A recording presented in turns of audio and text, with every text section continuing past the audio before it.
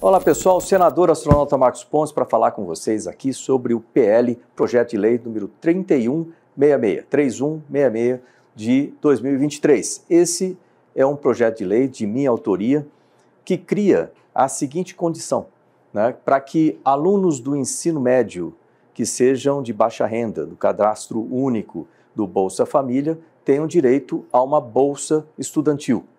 A ideia disso eu posso tirar da minha própria vida. Isso é interessante. Vocês sabem que eu nasci né, na periferia, meu pai era servente de serviços gerais, faxineiro, então nós passamos muito aperto. E eu lembro muito bem as dificuldades que era né, para essa fase da minha vida, para o ensino médio.